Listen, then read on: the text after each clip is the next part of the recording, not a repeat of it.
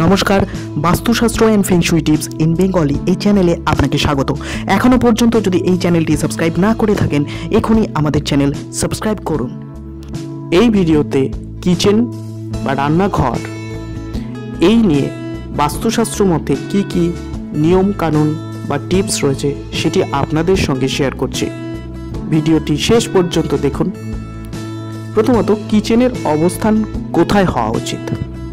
বাস্তুশাস্ত্র অনুযায়ী কিচেনের বেস্ট তিনটি অবস্থান রয়েছে।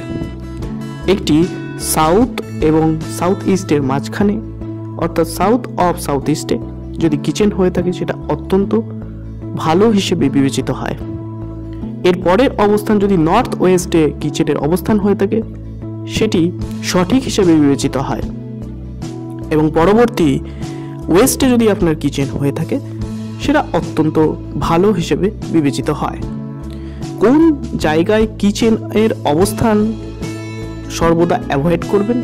নর্থে কিচেন হওয়া চলবে না, নর্থ ইস্টে কিচেন চলবে না, বা ইস্টে কিচেন অতটা ভালো নয়। সাউথ ওয়েস্টে কিচেন মিডিয়াম। এবার রান্না করার সময় কি কি বাস্তুশাস্ত্রের নিয়ম রয়েছে? কোন দিকে মুখ করে রান্না করবেন? রান্না করার সময় সর্বদা পূর্ব দিকে মুখ করে রান্না করার চেষ্টা করবেন। অর্থাৎ আপনার রেসপেক্টে আপনার গ্যাসের ওভেন বা উনুন সর্বদা আপনার ইস্টে থাকবে। কখনো উত্তর দিকে মুখ করে রান্না করবেন না।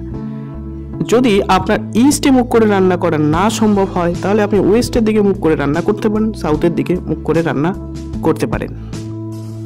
এছাড়া আপনার কিচেনের বেশ কিছু টিপস রয়েছে, যেগুলি অত্যন্ত ইম্পর্ট্যান্ট যেমন আপনার কিচেনের গ্যাস স্টোভের একেবারে পাশেই জলের কোনো ড্রাম রাখবেন না। এটি বাস্তুশাস্ত্র হিসাবে, বাস্তুদোষ হিসাবে বিবেচিত হয়। কিচেন সম্পর্কে আর যদি আপনাদের কোনো প্রশ্ন থেকে থাকে, কিচেন রিলেটেড তাহলে আমাদের কমেন্টস বক্সে এসে এই ভিডিওর কমেন্টসে এসে কমেন্টস বক্সে কমেন্টস করুন। নিশ্চয়ই আমি আপনাদের উত্তর দেওয়ার চেষ্টা করব। আমাদের এই ভিডিওটি লাইক করুন শেয়ার করুন, আমাদের চ্যানেল সাবস্ক্রাইব করুন। আমাদের এই ভিডিওটি দেখার জন্য ধন্যবাদ। ভালো থাকুন, সুস্থ থাকুন। নমস্কার।